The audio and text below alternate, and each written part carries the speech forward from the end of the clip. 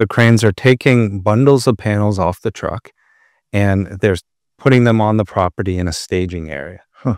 During that time, these panels are completely protected from the elements. They're actually wrapped in essentially boat wrap. So the same thing that Oh wow.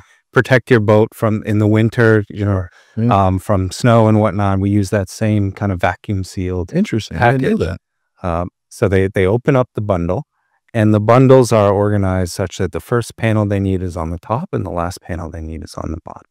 Of course, they're all labeled, and they have an Right. instruction manual very similar to, you know, putting together your favorite furniture. You know, So the crane comes and grabs each panel. The panels already have these attachments Mhm. waiting for the crane.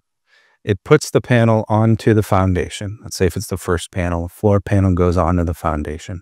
So it takes them, you know, it takes, depending on the size of the house, it can be as fast as a day. I think that's more on the extreme, but we've done it. Yeah. Or, you know, one to two weeks uh, for a very large home, you know, 5,000 square feet, it Okay. might be two to three weeks.